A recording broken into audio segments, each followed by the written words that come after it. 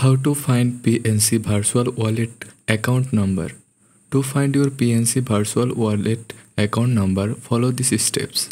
Using the PNC mobile app, sign in. Open the PNC mobile app and sign in to your account. Select your account.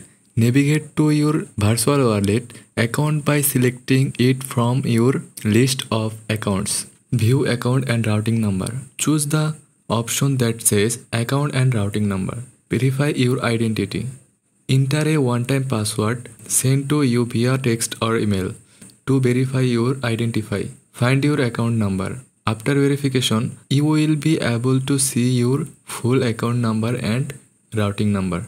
Using PNC Online Banking. Sign on to your banking. Visit PNC's online banking website and log into your account. Go to account activity once logged in, go to the account activity section. Select virtual wallet account.